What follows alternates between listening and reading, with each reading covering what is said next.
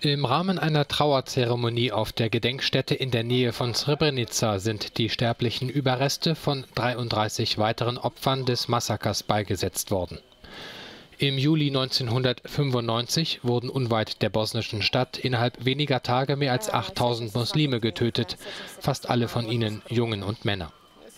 Ich erinnere mich an jeden Augenblick, sagt die Tochter eines Opfers. Ich erinnere mich, wie er uns verlassen musste. Er wurde in einen Bus gesetzt und war weg. Aus den Wochen des Wartens wurde immer.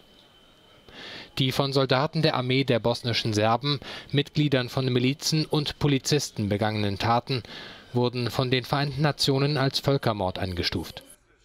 Ich habe 24 Jahre lang nach seiner Leiche gesucht und nur einen Knochen gefunden. Heute haben meine Familie und ich unseren Frieden gefunden.